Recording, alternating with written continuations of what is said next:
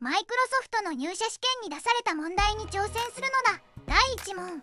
水を測りたいのだ。5リットル入る容器が1個。3リットル入る容器が1個ある。水はいくらでも使えるものとして。2つの容器を使って正確に4リットルの水の量を測るにはどうすればいいのだ？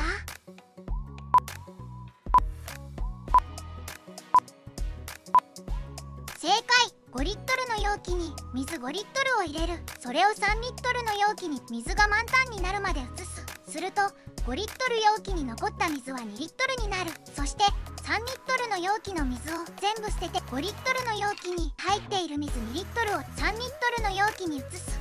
5リットル容器に水5リットルを入れ3リットルの容器に水1リットルを入れることができる。すると5リットルの容器に4リットルの水が残るのだ。第2問。時間を計りたいのだ。2本の導火線がある。どっちも1時間ちょうどで燃え尽きる。この2本の導火線とライターを1つ使用して45分を計測したいのだ。どうすればいいのだ？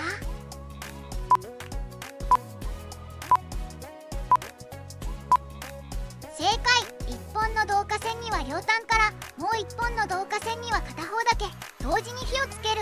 1本目が燃え切ったタイミングで30分が経過しているのでその時に2本目のこれで2本目が燃え切った時間が45分となるのだ。第3問マンホールの蓋が四角ではなく丸いのはなぜなのだ？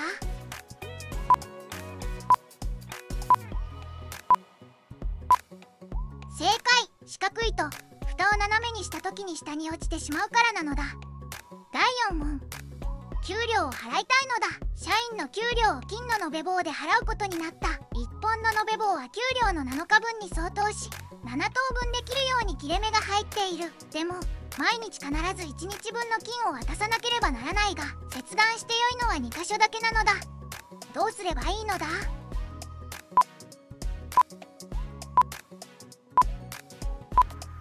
正解。2番目と4番目の切れ目で切って1単位分の金塊2単位分の金塊4単位分の金塊を作るのだ。1日目は1単位を渡す。2日目は2単位の塊を渡してお釣りとして1単位の塊を返してもらうのだ。3日目は1単位を渡す。4日目は4単位を渡し2単位と1単位の2つの塊をお釣りとしてもらうのだ。5日目は1単位を渡す。6日目は2単位の塊を渡してお釣りとして1単位の塊を返してもらう。7日目は1単位を渡すのだ。第5問。毒入りの錠剤を探すのだ。同じ薬が10錠入った瓶が5本ある。薬の重さは1錠が 10g でもそのうちの1本は中身の錠剤全てが毒に汚染されている汚染された薬は見た目では全くわからないが1錠の重さが 9g になっている。重さ以外に汚染された薬を見分ける方法はない。測りを使って測れるのはたった1回だけ。どうすればいいのだ？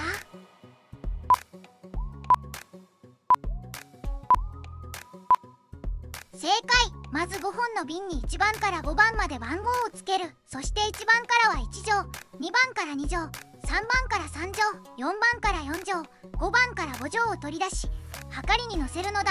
汚染される前の錠剤。すべて 10g だったから。10g 足す 20g 足す 30g 足す 40g 足す 50g で 150g になるはずだがどれかの瓶の薬は 9g になっているから。例えばはかりの重さが 147g なら元の 150g から 3g 減っていることになり3錠取り出した3番の瓶の薬が汚染されていることになる。もし結果が 145g なら 9g の薬が5錠あったことになるから。5番の瓶が汚染されていることになる。つまり 150g からはかりの数値を引いた数値が汚染薬が入った瓶の番号になるのだ。第6問。赤いビー玉を選びたいのだ。中が見えない同じ瓶が2本と赤いビー玉と青いビー玉が50個ずつある。どちらかの瓶を選びそこからビー玉を1個取り出す。その時赤いビー玉を取り出す確率を最大限にするにはどうすればよいのだ？またその時の赤いビー玉を選ぶ確率はどのぐらいなのだ？条件は1本の瓶には100個のビー玉が入る。100個のビー玉全ては2本の瓶のどちらかに入れなければならない。どうすればいいのだ？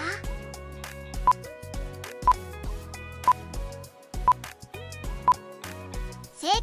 赤ビー玉1個だけが入った瓶1と赤ビー玉49個と青ビー玉50個が入った瓶2にするのだ。まず赤ビー玉1つだけの瓶を選ぶ確率は2分の1の50%赤ビー玉49個と青ビー玉50個が入った瓶を選ぶ確率は2分の1の50%そこから赤ビー玉を選ぶ確率は99分の49で約49.5%瓶1から赤いビー玉を取り出す確率は2分の 1×1 で2分の1の50%瓶2から赤いビー玉を取り出す確率は2分の 1×99 分の49なので198分の49合計すると2分の 1+198 分の49で198分の148となり約74.7%なので約75%の確率で赤ビー玉を選ぶことができるのだ。第7問。マッチ棒で正三角形を作るのだ。6本のマッチ棒がある。これで正三角形を4つ作ってほしいのだ。どうすればいいのだ。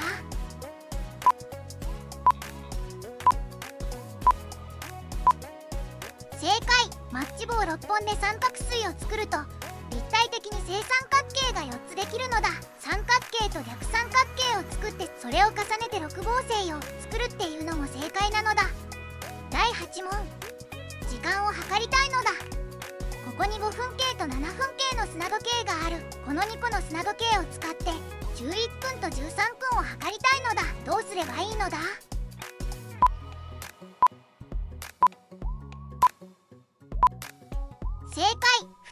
砂時計を同時に落とす5分の時点で5分計は上が07分計は上に2分でしたが5分の状態。ここで5分計を逆さにすると7分計の上がからになり7分が経過した時に5分計は上が3分下が2分の状態になる。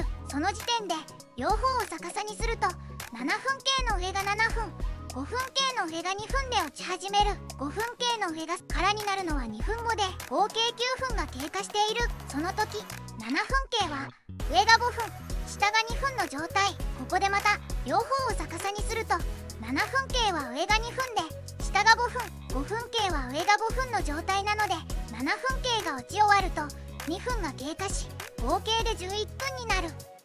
この時5分計は上が3分下が2分なのでここで逆さにすれば2分が計測できて合計で13分になるのだ。第9問。トムとジムは2人で21ドル持っている。トムはジムよりも20ドル多く持っている。それぞれいくら持っているか。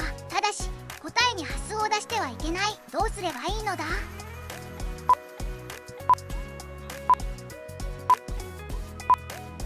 正解。20ドルの差を作るためにはトム20.5ドル。ジム0.5ドルしかない。なので波数が絶対に出るので設問が間違っている。というのが答えなのだ。ちょっと反則っぽいのだ。難しかったかな？楽しんでもらえたら高評価とチャンネル登録をよろしくお願いしますなのだ。